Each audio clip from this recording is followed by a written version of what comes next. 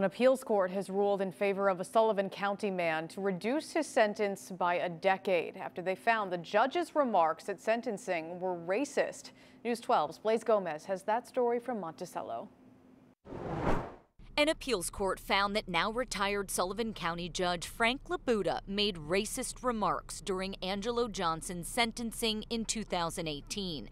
Court documents show Labuda said Johnson's brain was, quote, retarded in growth and, quote, not developed through no fault of his own. Johnson was sentenced to 15 years to life as a repeat felon, but now could be released as early as next month. My hope is that this gives some uh, hope to others who may have been afraid to bring the issue up. Carolyn George handled the appeal for Johnson. His sentence was reduced by 10 years after the panel of appellate judges found Labuda's comments were aligned with debunked 19th century beliefs about African Americans. Court documents also referenced an incident during trial where Labuda repeatedly told court officers to bound the defendant's mouth with tape the judge's demeanor throughout the entire trial was was disrespectful. Judge should know better than to say that you should bind someone's mouth. I mean, how how how horrible is that? Labuda retired in 2019 after 22 years on the bench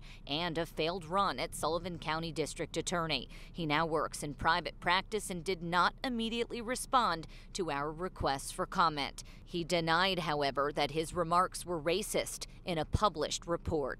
In Monticello, Blaise Gomez, News 12. Well, Angelo Johnson is up for parole next month. If released, he'll serve five years post-release supervision.